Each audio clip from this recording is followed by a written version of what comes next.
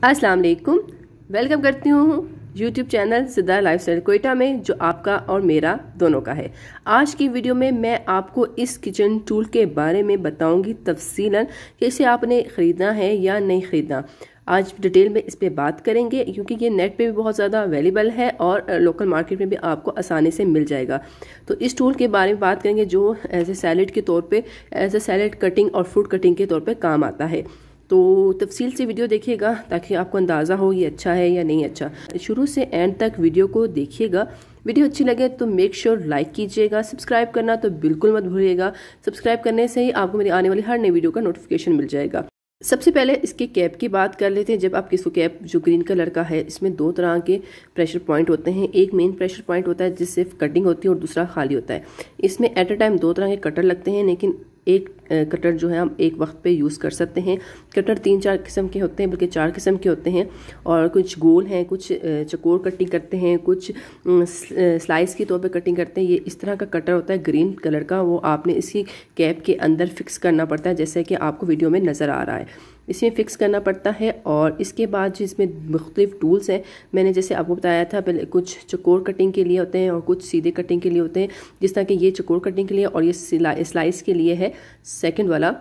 इसके अलावा इसमें जो है ये ब्लेड होता है, जिसमें हम स्लाइस जिन्हें आलू के स्लाइस बनाते हैं, इसको कवर करने के लिए, इसके हिफाजत के लिए, क्योंकि ये बहुत शार्प होता है, एक कवर दिया गया है, जो इस, जिस तरह का ये आपको नज़र आ रहा है, इसको कवर करके रखते हैं, ताकि कि हाथ में ना लग जाए। ये बहुत ही शार्प होता है, ये आपके हाथ को कटिंग कट कर सकता है, इसलिए इसका हमेशा कवर करके ही रखा जाता है। एक ये टूल होता है, दूसरा जो मेन टूल होता है, ये जो पील ऑफ़ करने के लिए वेजिटेबल्स को या फ्रूट को इस्तेमाल किया जाता है। और इसके अलावा इसमें जो है ये होता है जिसे कद्दूकश कहा जाता है और कद्दूकश को लिए भी कवर दिया गया है, ये आप देख सकते हैं और ये over green and white colour के प्रोडक्ट है और इसे कद्दूकश के तौर पर इस्तेमाल किया जाता है और इसको बहुत अच्छी तरह कवर किया गया है और ये कद्दूकश इस तरह का बना हुआ है और इसको आप कवर करके ही रखेंगे क्योंकि इसमें ब्लेड जो है वो बहुत तेज़ होते हैं और एक ये है जो उसके प्रेशर पॉइंट के लिए यूज़ किया जाता है और ये बहुत ज़्यादा यूज़ नहीं होता टूल, बहुत कम टूल ये वाला यूज़ होता है। इसके अलावा ये जो प्लेट आपको नमा, आपको ग्रीन कैप नज़र आ रही है, जो एक साइड पे हमने कटिंग नहीं करनी और दूसरी प्लेट हमारी फारिग होगी तो उस पर ये लगाया जाता है ताकि वो जो उसका कैप है वो ख़राब ना हो। तो इसलिए लगाया जाता है, लगाएँ या ना लगाएँ, मर्ज़ी है लेकिन इससे कोई फ़र्क नहीं पड़ता और एक इसका कंटेनर होता है जिसमें फ्रूट और वेजिटेबल कटिंग करके आ जाती है। और ये टूल जो है, एक प्रेशर के तौर पे यूज़ किया जाता है जब आप कद्दूकश करते हैं ताकि आपके हाथ और आपकी जो उंगलियाँ हैं वो कट ना सके। इसे बहुत इसके अंदर एक जिक और कांटे तमा इसको लगाया जाता है ताकि आप अच्छी तरह कटिंग कर सकें। इसके बाद ये ढकना होता है, जब आप फ्रूट वगैरह काट ले तो उसको एज ए कंटेनर यूज़ कर सकें, जैसे एज ए टिफ़न यूज़ कर सकें और ये आप पिकनिक वगैरह में भी ले जा सकते हैं। ये चीज़ की सीटी है जो इसके बॉक्स में ही आपको मिलती है। तो उसमें आप देख सकते हैं ओवरऑल देखिए आजकल कोई सीडीज़ देखता ही नहीं है। तो ये पूरा डब्बा मैंने आपको दिखा दिया जिसमें सब कुछ होता है। अच्छा इसको ओपन करना आसान है, यानी कि आप डब्बे से निकालें, आसान है, लेकिन इसको दोबारा उसी तरह पैक करना बहुत मुश्किल है इन टूल्स को। तो चलें, इनकी हम ओवर, ओवरऑल रिव्यू करते हैं इनका कि कैसे, कौन सा टूल किस लिए काम होता है काम आता है और क्या ये वाकई वेजिटेबल और फ्रूट वगैरह कटिंग कर सकता है, सैलड बना सकते हैं और क्या ये फ़ाइन कटिंग करता है या नहीं करता। तो इस पर अभी हम बात करेंगे। इसको लगाना बहुत आसान है। आपने जो प्लेट यूज़ करनी है, आपने वही प्लेट जो है ना, उसको इस कैप के अंदर फिक्स करना है और इस कैप को इस कंटेनर में अच्छी तरह फिक्स करना है। और क्योंकि अगर अच्छी तरह फिक्स नहीं होगा तो कटिंग अच्छी नहीं होगी। अगर आप ये वाइट टकन जिसे कैप से कहते हैं, वो किसी भी जगह पे लगाना चाहें, यानी कि जो आप कटर यूज़ नहीं कर रही हैं या कर रहे हैं तो उस पर लगा सकते हैं। इसको लगाना थोड़ा सा मुश्किल इसलिए क्योंकि इसमें फ़िक्स करना थोड़ा सा प्रेशर माँगता है तो मैं तो यूज़ नहीं करती। अगर आप यूज़ करना चाहें तो आप कर सकते हैं। तो इससे कोई फ़र्क नहीं पड़ता क्योंकि प्रेशर पॉइंट तो हमने एक ही जगह देना है जो आप समझ जो आपको नज़र आ रहा है जो बहुत उभरा उभरा हुआ हिस्सा है जो कैप का उससे हमने प्रेशर देना है। लेकिन लगा लें तो आपकी बेहतर है। पहले हम जो ये पील ऑफ़ यानी कि जिससे करना देखेंगे कि ये अच्छी तरह हमारे जो फ्रूट या वेजिटेबल है इसको पील ऑफ़ कर सकता है। ये कर, ये कटर या नहीं कटर तो ये देखें ये बहुत ही प्रेशर से कर रहा है और बिल्कुल कहते स्मूथ नहीं कर रहा। इवन तक जब आप इसको पील ऑफ़ करना चाहें सब्ज़ी को तो आप प्रेशर भी डाल, डालते हैं और फिर भी ब्रेक हो जाता है, यानी कि इसका छिलका गाजर का आप देख रहे हैं।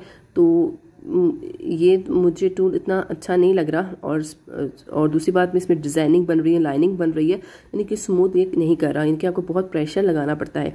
अगर एज़ कंपेयर टू इसके हम दूसरा कोई लें, जो हमें लोकल मार्केट में आसानी से मिल जाता है, ये थोड़ा सा एक्सपेंसिव है, लेकिन ये बहुत अच्छा टूल है पील ऑफ़ करने के लिए वेजिटेबल और फ्रूट तो ये देखिए बिल्कुल आसानी से, बहुत ही आसानी के साथ, बहुत ही ईजीली ये पील ऑफ़ हो रहा है। आप देख सकते हैं कितनी स्मूथली और एकदम हो रहा है। अगर बात की जाए आलू की तो चलें आलू को भी कट करके देखते हैं। तो आलू ये जो है फ्रेश आलू है, ये तो आप आराम से, नील से या हाथ से मलेंगे तो भी इसका जो छिलका है वो उतर जाएगा। तो हम ये देखते हैं, इस टूल से उतरता है कि नहीं उतरता। अभी ये मोटा छिलका उतार रहा है इस आलू का।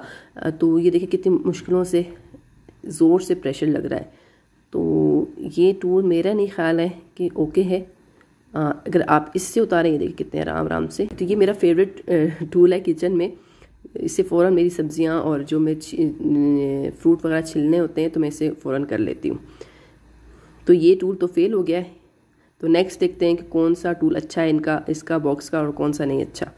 आलू जी मैंने मुकम्मल पील ऑफ़ कर लिए हैं। अभी हम इसमें कटिंग करके देखते हैं कि कटिंग हमारी होगी कि नहीं होगी और किस तरह की होगी। अगर आप लंबे कटिंग करना चाहें तो आप नहीं कर पाएँगे क्योंकि ये प्रेशर नहीं बर्दाश्त कर पाएगा।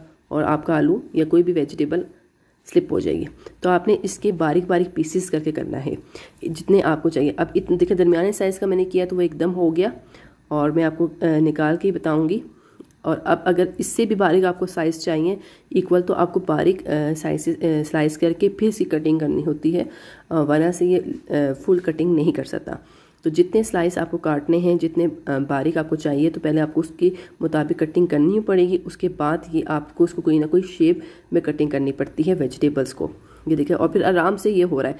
और आलू भी बहुत नरम है। अगर कोई सख्त आलू होता है तो शायद इतने आराम से ना होता प्रेशर लगता है। लेकिन आलू, क्योंकि नए आलू हैं, जैसे कि मैंने बताया तो ये आराम से कटिंग हो रही है। ये देख सकते हैं। कितने ज़बरदस्त ने कटिंग कर ली है। जो भी शेप यानी कि चार जो शेप अवेलेबल हैं, उसमें से आप किसी शेप में भी आलू या कोई भी वेजिटेबल कटिंग कर सकते हैं। अब बात करते हैं दूसरे साइड की, कि दूसरे साइड की कटिंग किस तरह होगी तो मैं उसको भी आपको दिखा देती हूँ साथ, ताकि आपको अंदाज़ा हो कि आपने अगर कटिंग इस वाली शेप की करनी तो इस तरह की शेप कैसे होगी। तो मैं उसको चेंज कर लेती हूँ। ये देखें। अभी हम दोबारा से मैं पीसेस कर लूँगी आलूओं के, जितने मुझे उसके साइज़ में चाहिए। तो आपने इसी तरह पीसेस करके दोबारा फिर इसकी शेप बनेगी। तो मैं रख लेती हूँ, आपको नज़र आ रहा है। अब मैं प्रेशर दूँगी थोड़ा सा ये जो है वो फाइव कटिंग वाला था। तो फाइव कटिंग इसमें नहीं होती, ये देखिए। फिर मैं दोबारा प्रेशर दूँगी, फिर जाके होगी। एक चीज़ के फाइव या एक पीस के फाइव पीसेस मज़ीद करना हो तो इसके लिए, लेकिन वो नहीं हो रहा। तो उसके लिए मुझे फिर, और दूसरा आलू रखना पड़ा ताकि उसमें प्रेशर जाए और वो उसे कट करके नीचे फेंक दे, यानी कि कंटेनर में फेंक दे। और आप ये देख सकते हैं, फिर भी नहीं हो रहा। दूसरा आलू भी फंस गया तो उसको अपने तरह प्रेस करके हाथों से करना पड़ेगा। फिर ये फाइव कटिंग कट, होगी। तो ये फाइव कटिंग तो ब्लेड मुझे किसी काम का नहीं लग रहा। तो आप बताएँ कि आपको लग रहा है ये किसी काम का कि नहीं लग रहा? जबकि चार जो कटिंग वाले पीस कटिंग वो ब्लेड है ना, वो अच्छे हैं। उसे आराम से कट हो जाता है। क्योंकि फाइव वाले कटिंग में अंदर तक वो, उसके जो प्रेशर पॉइंट है, वो, जो है, वो जाते ही नहीं है। तो वो किस तरह उसको कट कर सकते आलू की कटिंग हो चुकी है अब हम गाजर की कटिंग कर लेंगे। गाजर सीधा कट नहीं सकती अब हम काटिंग का, गाजर के जितने हमें पीसेस बनाने हैं जितने साइज़ के हमें पीसेस चाहिए हम वो पहले काट लेंगे और उसके बाद इसमें रखेंगे और फिर प्रेशर देंगे। ये देखें गाजर जो है वो फोर कटिंग वाले ब्लेड में हो गई है।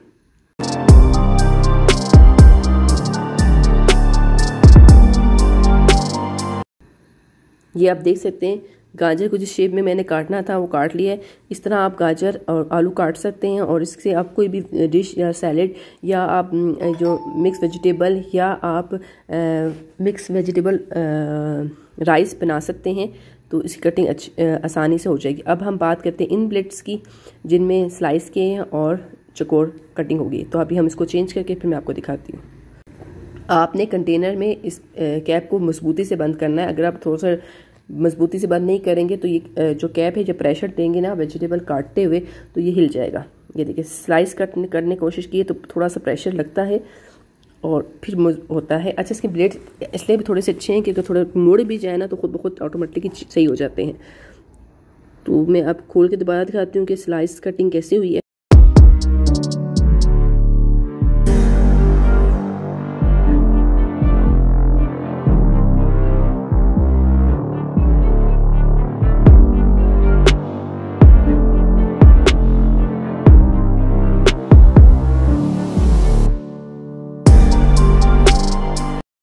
देखें, मैं आपको स्लाइस कटिंग ये देखिए, कितनी बारीक कटिंग हुई है, कितनी स्लाइस और अच्छी कटिंग हुई है। जैसे कि आप इसे ए सैलड भी तौर पर इस्तेमाल कर सकते हैं, जैसे कि मैंने आपको पहले भी बताया है। और इसकी वो आप मिक्स वेजिटेबल्स जो सब्जियों में यूज़ करते हैं मैक्रोनी बनाते हुए जो सब्ज़ी यूज़ करते हैं, उसमें भी इसकी कटिंग बहुत अच्छी होती है। तो थोड़ा सा स्लाइस कटिंग करते हुए जो है, थोड़ा प्रेशर ज़्यादा लगता है, क्योंकि ब्लेड्स बहुत बारीक होते हैं और मोटी चीज़ काटते हुए तो प्रेशर लगता है। सब्जियों की कटिंग वेजिटेबल कटिंग मैंने आपको बता दी है। अब बात कर लेते हैं जी फलों की। तो ये अमरूद है और अमरूद को मैं चकोश कर में काटने लगी हूँ। तो ये देखिए कितने आराम से कट गया। क्योंकि ये अमरूद जो होते हैं वो खुद इतने नरम होते हैं कि वो आराम से कटिंग उनकी हो जाती है। तो लेकिन जब आप अमरूद काटें तो उसके उल्टे साइड से काटें यानी कि सीधी साइड जब लिटों पर रखें और प्रेशर पॉइंट जब वो उसके उल्टे साइड पर दें, ताकि कि उसकी जो ब्लेड्स हैं वो भी आराम से काम कर सकें और प्रेशर पॉइंट भी आराम से हो जाए और अमरूद ख़राब ना हो।